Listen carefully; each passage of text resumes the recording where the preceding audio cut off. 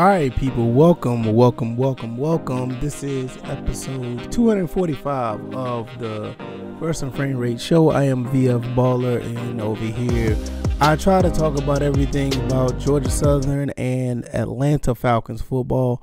Everything under that umbrella. I try to throw a couple of things sports related into the mix as well. But today we're going to talk more about the Georgia Southern Eagles. The Atlanta Falcons they're doing pretty good right now as far as the NFL is concerned. They're they're under 500, but they're playing pretty well. But um, I have to talk about my Georgia Southern Eagles on this one. It and it started a few days ago, and I'm going to run with it. So this episode is going to be mostly about the Georgia Southern Eagles. So um, hopefully you guys enjoy. Hopefully understand. Hopefully you guys will understand where I'm coming from, and we'll just go from there. Uh, if this is your first time here, welcome. I try to do these things, you know, on a live basis, but things has been changing. So I don't do the podcast uh, live uh, anymore. It's, it's just much easier for me to go ahead and just pre-record it. Um, I made that declaration when I was talking on my uh, one of my last videos on YouTube. Also put it in the community tab on the YouTube channel that the fact that you know this is a one man show you know i do all of this on my own. You know i do all the editing i do all the you know the the content the ideas the uploading all this stuff is just a one man i don't have anybody behind the scenes. It's just me. And it's just easier for me to just go this route. So if you are listening to this on youtube uh, on the, the pre-recorded side that's cool. I really appreciate it. But i also can be found on um itunes google play um, SoundCloud. Uh, I think I'm having a problem with uh, Google uh, Podcast and SoundCloud, so you, it may not upload over there, but definitely it's gonna be iTunes, Spotify, and I'm also going to be on uh, also going to be on Anchor. So if you guys could check out the the stuff on that avenue, we much much appreciate it. And uh, we're just gonna get right into this. Uh, I recently did a video on Sean Pelkisson, um, tight end slash defensive end for the Georgia Southern Eagles, and I really feel that he needs to play on defense. They've been holding him back, having him on offense, playing tight end, which personally I think he's much suited on defense. I showed the highlights on that video, and the proof is in the pudding. And I think that he should play defense like immediately. But this is not what this video is about. This was just a, the beginning of how I really, you know, feel about the Georgia Southern Eagles. And it, it is kind of like, not like the beginning because we've been on a downward slope pretty much all season. We had a couple of games that we looked pretty good, and then the rest of the games we were like scratching our heads like, what the hell is going on? Georgia Southern needs an identity change. We really need an identity change. What we're doing right now is not working, and I'm not blaming none of the coaches because they, these coaches are pretty much put in a bad spot at this point. You know, we lost Coach Chad Lunsford, and uh, we have an interim coach, and Coach Witt is doing the best he can being uh, the interim coach, and I can't knock him for what he's doing, but the you know this is a, re, a results based industry and if you don't come up with the results i mean you know that that's just how it's going to be you're going to be judged off those results now i think if this was a be- a different time, he was much more better to prepare for being a head coach. Things would probably be different because I don't. I, to be honest, I don't think he'd have the coordinators under him if it if he wasn't thrown into the situation. But the fact that he, he was thrown in the situation and he's basically going to be a placeholder until the end of the season, and uh, unfortunately, after what I saw on the on the South Alabama game it's unfortunate, but I don't think that he's going to be retained as coach of the Georgia Southern Eagles. I mean, it was a fast turnaround, or whatever the case may be, and uh, it you know it was a pretty overwhelming for the players, and uh, you just saw what happened when South Alabama just ran through Georgia Southern. It was not a pretty sight to see. So therefore, I feel that at the end of the day we're going to end up having a new coach, and I think that's what we need. We need a new identity. What we're running right now, the athletes we have on our team, um, I think we could do better. Um, do I feel that we could play as good as Coastal in Appalachian State? Maybe, probably not. It's a stretch, but I think we can. But we just don't know because the the proper um, implementation of play calling and training is not available for them. And I'm not saying that the coaches are doing anything wrong or anything. I just think with today's game, the way the game is played now, I do feel that the coordinators and in some cases the coaches are not ca- caught up with the times, especially on offense. I don't think they're caught up with the times at all because we're still trying to run a you know a option uh, style offense, which right now, you know, everybody is pretty much caught on to it. You know, not too many teams still run it. And the ones who do run it are, I'm not going to say they're not successful, but it's a limit to what they can do in they, this day and age. I mean, when we were in the FCS, when we was in one double A, you know, that type of offense was like, you know, you know, it was it was very potent.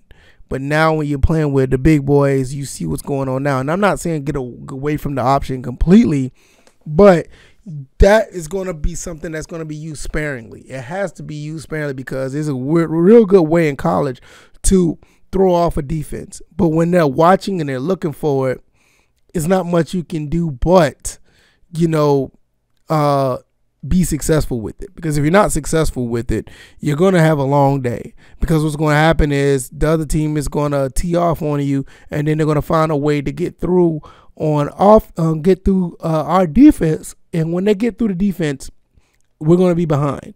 And once we get behind, it's very hard to catch up running that type of offense. It's just it's just really hard to do. So um, that's just something we have to be mindful of when we're running this style of offense. I think now I I, I personally I'm not opposed to running a pistol style offense. I'm not opposed to that. Um, as far as defense goes, I would like to see a multiple uh, four three. Um, I think we still run a three four, which is fine because you have uh, the athletes for it. We switch over to a four three. We get some better linebackers because the line, I mean not linebackers, but better down linemen. Because like I said, Sean Pelkisson could easily be the, a defensive end easily, and and play off the edge. You know, you can get a couple other guys that could play that. I think with the talent we have, I think we'll we'll do uh, wonders in my opinion when you see other teams evolve, like uh, Appalachian State, which ne- not necessarily ran this, this type of offense when they were in the FCS, or when you see Coastal just doing what they do. And you know, I was watching the game tonight, and I was like really upset. And I'm not gonna lie because you see these offenses that are ran in the Sun Belt, and I'm not just talking about Coastal and, and App State. You you see what uh the uh, South Alabama's doing. You see what Troy is doing. Hell, even in some cases, you see what Georgia State is doing. We're behind the times with the type of offense we're running. We're still trying to run with the athletic quarterback that's not necessarily a thrower. And we're just trying to use a lot of speed, which is great. I don't have a problem with using speed, but we have to try to get some plays that actually work in this day and age. Like the the option is a beautiful thing to run, and I'm not saying that you know it's it's the worst offense in the world. It's a beautiful thing when it works. The problem is you you can't get it to work in this day and age. Too many teams now are like hell bent on you know stopping that style of play. I mean, Georgia Tech just went through a whole identity crisis and had to flip over to what they've been doing because it was not working, even though Paul Johnson has been doing his thing when it comes to actually coaching teams, and he got he, he, they had some success in the ACC, but after a while it started to run its course. And around the same time that it started to run its course was around the same time Georgia Southern started having woes with their option play as well because teams start to catch on to it. It's cool to see. It's, it's great to watch it. And when it's ran, it's beautiful. But when you're looking at the scheme of things, it is not sustainable at this point. I think we need to start being a little more aggressive, throw the ball down the field. We need to get some of our players involved, and um, and it, it you know, like personally, I think Cam Ransom, you can go ahead and get him out there, get him uh so a lot of reps for the rest of the season. Let him throw the ball down the field more. It showed that we were doing a lot better when we started to throw the ball against South Alabama. We need more of that. He needs more reps. He needs to do more of that. And it's not to take anything away from Justin Tomlin, but we've seen what Justin Tomlin can do. And it's not, you know, I, I don't like the knock on these kids or whatever because they're out there to play. But when you see what they're capable of doing, you may want to try another alternative and try to get these guys out there to win some football games. Uh, I would love to see um, Cam Ransom actually run a pistol style offense. And that, and I know, and, and that that's just my thing. I'm gonna tell you now. I mean, some people may not like it, they may not agree with it, but I'm big on running the pistol. I am. I, I love the pistol because running the pistol, you can still run somewhat of an option play, uh, option game out of it. And like I said, I'm not against that. I'm okay with running the option out of the pistol, but we need to have more of a passing game. And then you have guys like Amari Jones, you have JJ McCaffrey, you have guys like um, Derwin Burgess. You got guys that are playing on this team that can actually move the ball if give the given the reps and the chance to actually throw and catch the ball. Uh, same thing with Sam Kinison. He's another. He played quarterback in high school, but it looks like he can play some receiver if need be. You know, um, you have Bo Johnson at tight end, Chase Hancock at tight end. I'm not even gonna go there with the running backs because we got plenty of those guys. Even when the guys that are there now, just once they graduate, we're still in a good position with running backs. When you go back and you look at on defense, we're out. Uh, I mean, what's his name? Um, uh, Derrick Canteen is out with a with a chest injury. He'll be back uh, Najee Thompson will be back. And, and I'm going to tell you right now, Najee Thompson just needs to go and stay on defense. Let him play defense. Let him play special teams because he does a phenomenal job of playing defense uh, at cornerback. He does a great job. I love this. Love seeing him out there. Hell, I don't mind putting him on offense every now and then as well. But keep him on. Uh, keep him at cornerback. Him and Derrick Canteen. Listen, you're talking about a good duo right here. Derrick Canteen and Najee Thompson will be phenomenal next year in that secondary. There's no doubt in my mind. They'll be excellent for the the secondary. So just keep that in mind, and we'll just leave that right there. Um, as far as the other guys up front, Josue, um, all the other guys that are up front, uh, I think Kavon Glenn is going to come back. Kaji Jackson's going to be there. Um, you still got the kid from uh, the other kid from uh, Oregon came in number 32. I can't remember his name. His last name Johnson. I, I, I do apologize. He's going to be there. Um, you got guys, and, and like I said, Sean Pell Kids could just go and play defensive end. You got guys here that if any coach comes here to to coach, you got the talent. You have the talent. You know, we need this shakeup. You're going to have the talent to do great things with this team, but we just need the right offense we need a stout. De- and one thing, the defense is really not that bad. The secondary did take a hit, but when you look at a defense that's constantly going back out on the field, constantly going back out on the field because the offense is not moving the ball, they they can't stop, but they can't hold offenses forever. They just can't. We need a team that can give us a good six, seven, and I said six because six is six uh, play drive is not bad when you're scoring, but six, seven, eight, nine, ten play drive 13, 15 play drive. If we can get those type of that type of production and put points on the board, the defense is just going to play just totally different. I mean, that's just how it is. They're going to play different because they know they got a lead to protect. They're not going out there saying, "Oh, here we go again. We got to deal with this." They're going to have a lead to protect. So this is why we need those guys out there to produce. And I personally think that right now this season is a wash. I hate to say that, but that's just like what I was saying before. This season is a wash. Put all those guys out there. Let them play. Show us, show us, show us what they got. Put them out there and let them play. Cause eh, and that, and that shows what they'll be capable of next year. And you know, so like it, I I don't know what coach is going to be here. Hell, I, we don't even know. Coach Whitley might might still retain the job. We just don't know.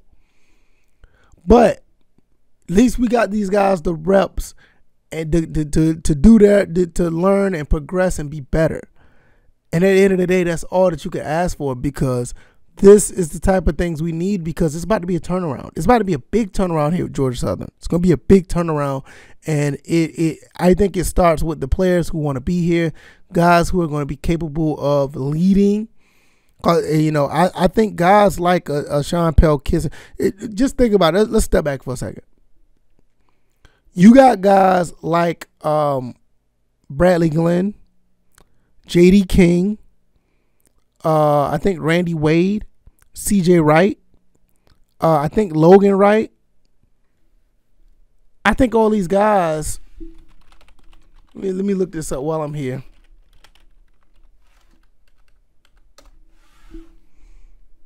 Let me see. Logan Wright. I think Logan Wright is going to be a senior. So with that being said, now we're looking at a situation where all these guys are going to be gone. We need guys that's going to step up and going to play. We we're going to need the guys that are going to step up and going to and, and not only just play but lead. You know, so with that being said, you looking like a guy looking at guys like a Sean Pelkisson. You looking at a guy like Cam Ransom. You know, Jalen White. Uh, what's his name? Um, Joe Green. You know, I think Amari Jones is. I think this is last year as well. So you you're looking at guys that can step up and be leaders. Derrick Canteen. I think Najee Thompson said he has another year eligibility. I want him to come back and play. I think that kid's probably gonna be playing on Sundays if somebody's watching him because he's he can do a little bit of everything. He'll be a big asset for a team. So when you look at these guys that are possibly leaving next year, these are the guys that need to be stepping up, and I want to see these guys step up and do what they have to do. Because right now, we are in a situation where, you know, we don't know what's going to happen. Nobody knows what's going to happen with this team. We don't know what type of offense, but what we do know is the personnel that we have here and see if this personnel is, is more than capable of turning things around, not only just with wins and losses, but just production. Even if they go out there and lose every game from here on out, if they're if they're able to uh, go out there and show that they can play some ball, they can move the ball downfield, make the games competitive. I think that right there is a huge, huge factor into going forward with this team and going forward with this program because with Jared Benko, the AD, I think there's going to be a big shakeup.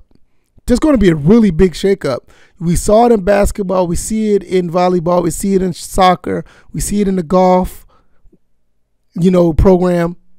Football is the only one that has not been touched yet by Jared Benko since he's been here. In my opinion, I could be wrong. Women's basketball has been changed. I, I, I don't know if he had that many coaching changes, but whatever that he's been putting implementing since he's been here has been working because every other program has been doing great. Even the rifle team has been doing well. The rifle team. It's time for Georgia Southern football to get back into where it needs to be. It's, it's just it's just time for it. I can't wait to see it happen, and hopefully we'll get that type of hire. Now, before I go, I want to ask what kind of hire do you think we should have? You know, what kind of hire do you think we should have? Because, you know, if you're watching this on YouTube, put it down in the comment section.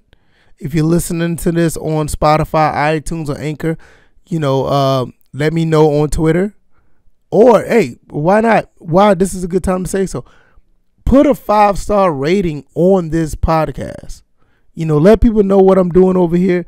Let people know that, you know, that this is a good podcast to listen to. I try my best to uh, talk about my favorite teams, Georgia Southern, Atlanta Falcons.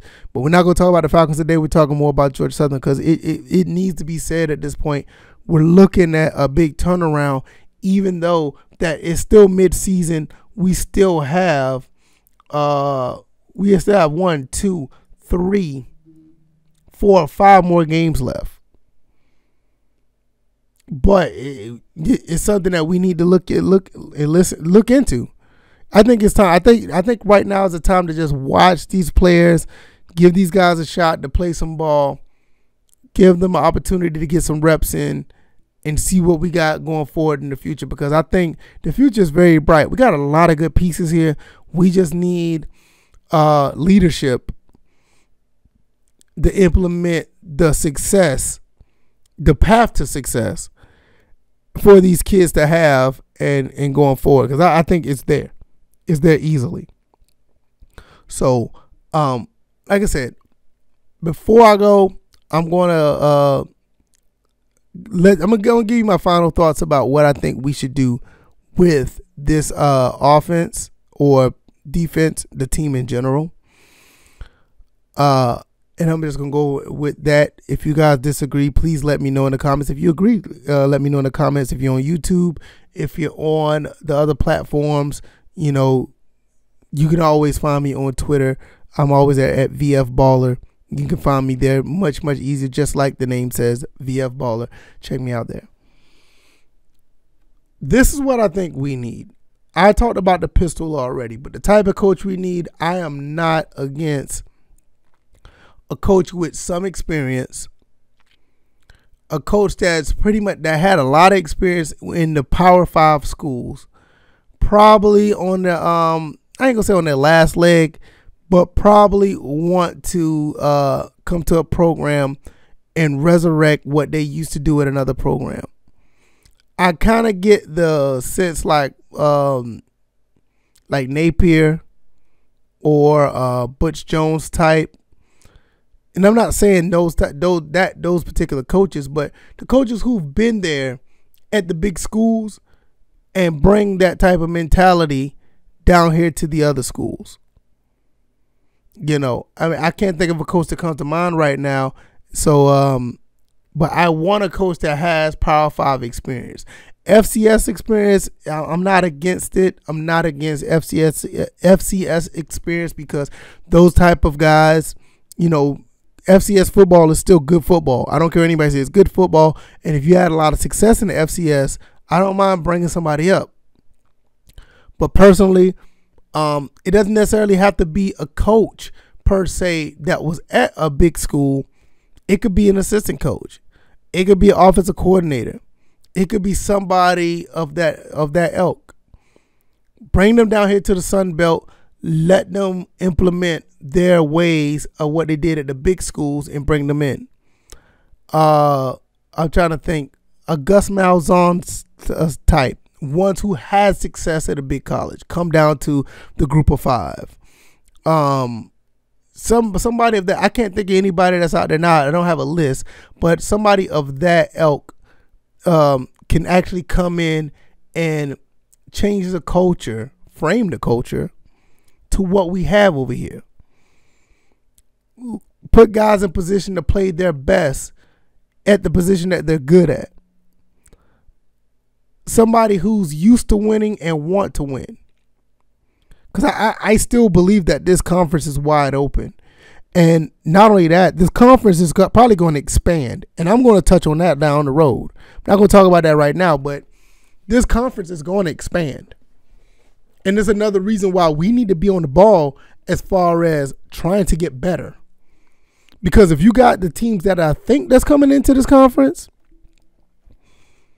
it's going to be highly competitive. You think you think now that you know what App State, Coastal, Troy, Louisiana, Georgia State, you think those schools are already competitive? Yeah, there there's some phenomenal you know teams and programs. But you're gonna have a you're gonna have some teams that comes in that's gonna be hungry, teams that's gonna come to this program that's gonna want to play and they're going to try to put put a footprint into the Sun Belt similar to what Coastal has done so far in this conference. You know, Coastal was too much of nothing. I remember playing Coastal when we were back in the FCS days, one double A days when I was at Georgia Southern. I was at those games back in 05, 06, watching the Chanticleers play against Georgia Southern. And they weren't too much, they weren't that good back then. But you look now, 15 years later, they're trying to they're they're, they're knocking on the door to try to get a January five. Oh, not January five, but a, a January uh bowl game. That's what they're trying to do. but because they evolved, they changed. They were hungry. They wanted to play. They, I mean, even Georgia State. Georgia State came in and they wanted to. They, they wanted to prove themselves. So if you have a James Madison or a Southern Miss or a Marshall, especially Marshall, you have those stu- schools come in and, and you think they're just going to come in and lay down. They're going to want to play. Georgia Southern cannot be sitting back here looking like, uh, okay, we're still going to play like it's 1999, like it's like like it's 2000. Adrian Peterson's maybe still coming to the games, but he's not coming through that door suiting up. You know the Greg Hills, the Jayson Fosters. They're not gonna. They're not. And even if they suit up, don't get me wrong. I'm not taking nothing away from them because they're great. And I think they'll do good in the in the league today. But those are those are talented kids that are like way beyond. Those are talented guys that was way beyond what we have today. The Ellisons of the world, Upshaws. You know, the Dominique Swopes. We don't have those guys now. Now we do have good talent, but we can't live in those glory days now. We need to start bringing a new identity. Who's going to be that next great quarterback that's going to come in and throw for 2,000 yards, run for another eight, 900 yards? Who's going to be that quarterback for throw for 3,000? Who's going to be that running back that runs for 1,500? Who could be that receiver that's going to uh, catch 50 uh, receptions? Who's going to be that middle linebacker that's going to get 65, 70 tackles? Who's that safety that's going to get three or four interceptions throughout their college career yearly for the next three, four years? Like a Derrick Canteen, a Monquavian Brinson, or, or a Kindle Vildor. We need a coach that bring, that could bring that type of mentality that, that could bring those guys in that want to come here, or bring the guys who are already here, bring them up to be those type of guys. I honestly believe we get a coach that that is proven. He doesn't necessarily have to be a retread. He could be a coach that been in the Power Five that never had a chance, or he could be a Power Five coach that actually was successful. Bring them in. And we'll see what goes from there. I, I that that's my personal beliefs of what we need to to have. Y'all let me know what you guys think. I usually try to run this podcast anywhere uh, between 30 to 35 minutes. It's getting up to that point now. I think I said my piece about what we can do at Georgia Southern. I want to know what your guys' thoughts. I really want to know. If you are listening to this on YouTube, please hit the like button. Share this. Let people at Eagle Nation know what I'm doing over here. I did a do different format. I'm not going to be going live. I'm going to do more of the pre-recorded stuff. I hope hopefully you guys enjoyed this. If you're on the podcast side, hopefully you can hit that four to five star, preferably five star rating let the guys know that this podcast is where it's at when it's talking about Atlanta Falcons and Georgia Southern uh, football and uh, everything under that umbrella as well. I'm going to continue to give this content to you guys over there on YouTube. I make daily videos about my two teams. You can go check that out. Hit the subscribe button over there. If you want to hit the subscribe button over here on the podcast side as well, so you will always get the content. I also have a Patreon if you're interested in looking at that. Highly, highly optional is not required, but I would not, you know, I am not opposed to you going to check it out and just see what I have over there. I want to close this out. We're going to be fine, everybody. We're going to be fine. Things are going to be a little rough for the next few weeks, next few months. But we're going to get a coach in here that's going to do something. I highly, highly believe that. I I think Benko is going to make the right choice, and um, we're going to have somebody here. I just gave you my two cents who I think should be. I don't know how that's going to play out, but we'll see. All right, y'all. Y'all be blessed. See you guys on the next one. Peace.